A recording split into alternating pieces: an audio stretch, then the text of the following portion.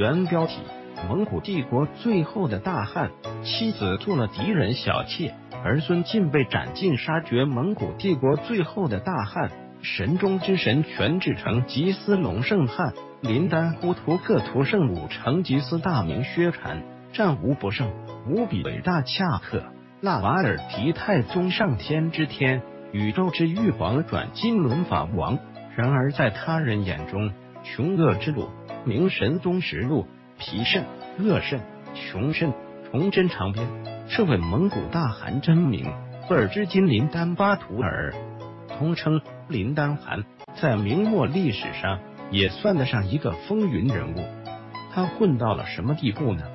为了大明朝廷许诺的每年四千两白银的赏银，便答应和明朝结盟去对抗后金，协防广宁城，然后。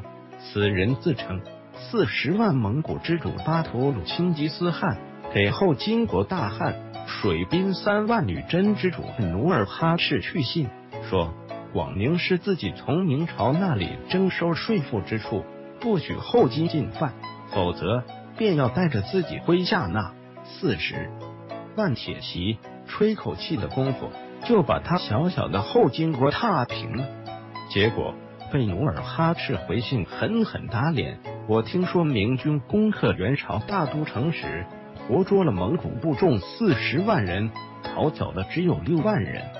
而且如今这六万户蒙古人中，鄂尔多斯部、土默特部、阿索特永谢部的右翼三万户和你毫无关系，左翼三万户难道就都听你号令吗？你连三万人马都没有。也好意思在我面前大吹法罗。后金国大汗努尔哈赤展开全文文，大都城被攻克时，四十万蒙古竟为明人所掳，逃出者仅六万人，且此六万蒙古亦不尽属于尔也已。属鄂尔多斯者一万，属十二土默特者一万，属阿索特永谢部者一万，此又一三万之众，与尔无涉。乃自由注目之众也，其左翼三万之众，又岂尽属于尔也？三万之众尚且不足，仍引七日之陈词，自诩四十万，而轻我人少，仅三万人，天地岂不知乎？满文老当。然而明朝广宁巡抚王化贞却病急乱投医道，当真信了林丹汗的吹牛，可能是真信。他能有四十万大军来救援，还另外给他许诺了白银一万两的奖励。结果等到广宁之战开打后，林丹汗就带了一万蒙古军姗姗来迟。用他的话说，另外两万蒙古军因为大雪封路来不了了。此时王化贞已经仓皇出逃，广宁失守。于是林丹汗就自称。去帮助明军防守山海关，移兵西进，勒索了大笔白银，才满载而归。这位林丹汗一心要做名副其实的蒙古大汗，想重新统一蒙古各部。然而，在蒙古人已经普遍信奉黄教格鲁派的情况下，他却改宗红教萨迦派，搞得四处受敌。他的兵马打到哪里，哪里的蒙古部族。就纷纷去投靠了盛京的后金政权，最后在和后金战争中屡战屡败的林丹汗，在马匹不过四万、部众不过五万的窘境中，被后金大汗皇太极会同各降服蒙古部族，笑聚了十万大军出兵征讨后金大汗。后为清太宗皇帝，皇太极丢下大批部众。亡命西窜，一口气跑到青海的林丹汗染上了天花病疫而死。第二年，也就是公元一六三五年，他的儿子额哲率领的残部被多尔衮率一万后金军包围，不得不屈膝投降。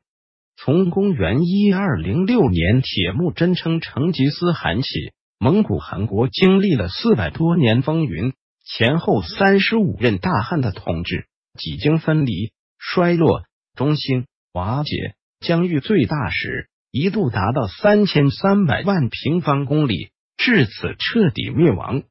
初代蒙古大汗铁木真曾有名言：“人生至乐，莫过于战胜敌人、追杀敌人、夺其骏马，乃至所有一切，将敌人的妻子、女儿尽纳于帐中，见他们终日以泪洗面，得到各蒙古部族推举，自称继承了蒙古大汗名号的皇太极，同样也是身体力行了这句话。林丹汗的正妻那么中，被皇太极纳为妃妾，从蒙古汗国的囊囊太后变成清国的林止宫贵妃。此后还为皇太极生下一子一女。林丹汗的侧室司秦图福晋投降后，改嫁给他的旧部属寨桑奇他特车尔贝为妻。林丹汗的侧室苏泰，他继承人额哲的生母。改嫁给皇太极的堂弟济尔哈朗，从蒙古汗国的苏太太后变成了清国的正亲王继福晋。林丹汗的侧室巴德玛瑙窦土门福晋，早在此前一年就离开了他，率领部众投降后金，变成了皇太极的衍庆宫淑妃。林丹汗的侧室额尔哲图投降后，改嫁给皇太极的兄长阿巴泰为其小妾。林丹汗的侧室台斯纳投降后，改嫁给皇太极的长子豪格为其小妾。林丹汗的妹妹太松公主投降后，改嫁给皇太极的兄长代善为其小妾。林丹汗还有一个侧室乌云娜，乱军之中被漠北某部落掳去，从此不知所踪。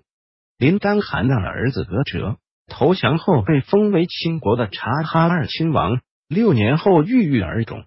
林丹汗的次子阿布奈也是他的一父子，在母亲被皇太基鲁进后宫的同年出生，十六岁时正式继承察哈尔亲王之位，三十四岁时被清朝康熙帝以久不朝觐之罪削其爵位，囚于圣经。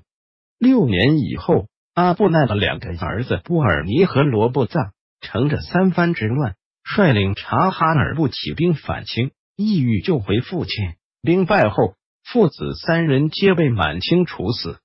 清军统帅图海在出兵时为鼓舞士气，还专门宣布察哈尔部是蒙古旧汉庭所在，数百年来所积蓄珠玉货宝不可胜计，众将士如能获取之。可富贵终身也。察哈尔部民的遭遇可想而知。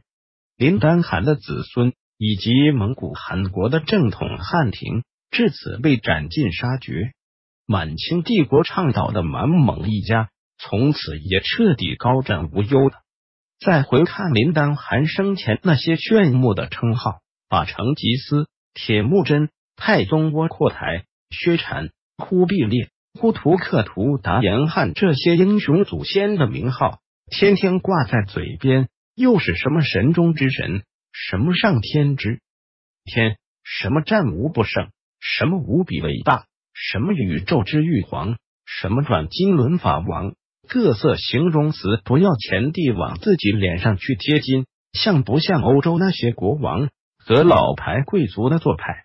然而这些名号。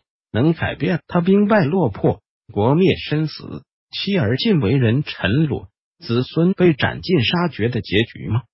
正因为历史长河中长达三千余年，中华文明皆是当时人类最高度发达的文明，物产丰盛，衣饰精美，文华丰富，地灵人杰，延绵千载，灿烂辉煌，摇曳汉唐声雄万邦之盛世。那时的日耳曼蛮子和维京海盗还在如同野人一般如毛饮血。近几百年来，欧洲人乘着近代化和工业化的大潮，才算是真正阔起了来，也因此拼凑了一堆的贵族礼仪、绅士风度、家徽文章，更将他们蛮荒时期的那些荒村野旅一一美化，通过现代化传媒在世界各地去文化输出。竟然也哄得不少人信以为真，肃然起敬。殊不知，这些早都是中华文明几千年前就摒弃不要的糟粕。也只有林丹汗这种蛮夷不足的大傻子会捡回来自娱自乐。较真来说，在我煌煌中华的诸子典籍、诗词文章、历代惯常面前，不过是沐猴而冠，自取其辱罢了。返回搜狐，查看更多责任编辑。